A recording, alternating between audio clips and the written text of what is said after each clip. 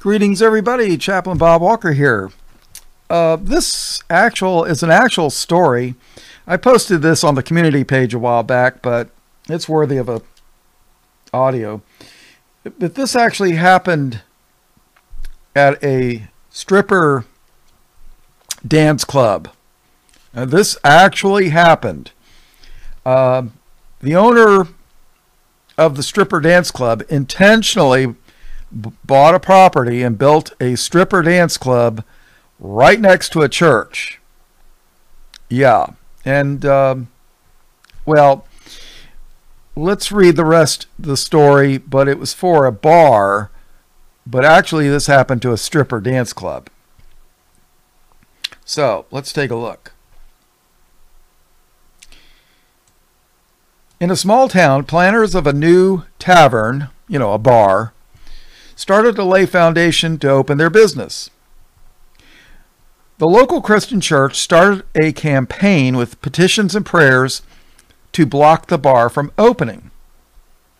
Work progressed. However, right up until the week before opening, there was a lightning strike that hit the bar, it caught fire, and burned to the ground. And I'm reading a, the story about a bar, but this actually happened to a strip club. So, yeah. The church folks were rather smug in their outlook after that until the bar owners sued the church on the grounds that the church was ultimately ultimately responsible for the demise of their building either through direct or indirect actions or means.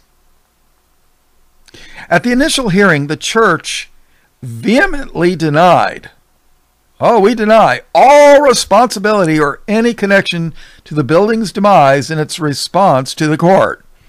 Oh, uh, our prayers and all this stuff, we, uh, we had nothing to do with the lightning strike hitting this bar and destroying it. Well, it was a strip club, actually, so. As the case made its way to trial, the judge looked over the paperwork and the pleadings at the hearing and made this following statement.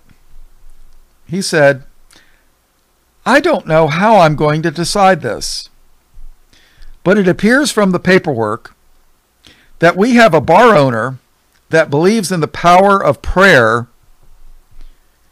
and a church congregation that does not. Hmm, isn't that funny? Uh, moral of the story is if you are praying for rain, believe it enough to carry an umbrella. What can I tell you? So that's funny, huh? Yeah. And I did. That's an actual story that happened uh, a strip club because the owners built it right next to a church on purpose. And lightning hit it and boom. So, all right. All blessings, praise, glory, and honor to Jesus' name. Amen.